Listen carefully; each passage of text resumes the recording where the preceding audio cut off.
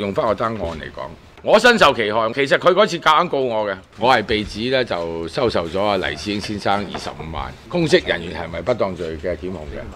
我將啲錢存咗去一間印刷所嗰度，係幫社民連印嘢，我袋唔到落袋，所以法官話唔成立。各位誒、香港嘅市民，可以告梁國雄，可以告曾蔭權，曾蔭權叫黃楚標豪莊交俾佢住咋？曾蔭權俾人告嘅時候係攞咗幾個大狀嘅意見，有人話唔好告，有人話告，都告咗啊！我覺得阿阿鄭若驊真係好笑啊！如果你鄭若華睇到以前嘅例係可以告嘅。唔該你做，履行佢嘅職責係咁簡單啫。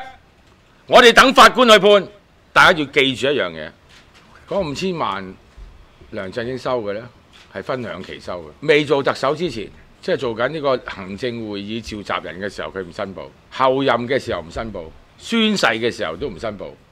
然後做特首繼續再收，即係俾咗好多次機會佢嘅。二零一二年嘅十月，明知道二零一二年九月前嗰封。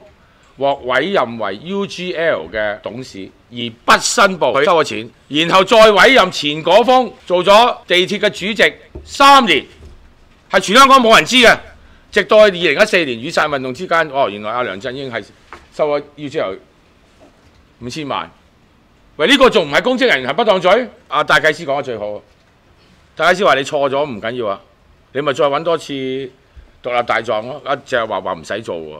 即係等於我話俾大家聽啦，你揸架車去到去到行下冇油，我冇油，我哋架車壞咗冇油。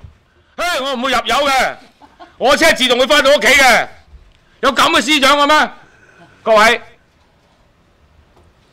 我哋民主派俾人政治迫害，乜嘢罪名都告啦。呢個係俾人告嗰個乜乜鬼啊？誒，妨礙立法會。房立會，喂，各位你哋再唔出嚟，幫唔到你哋㗎。特首可以收五千萬。公務員食嘢可以唔俾錢啊！有個人今日同我講啊，正有據唔敢喐，律政司長咪鬼叔。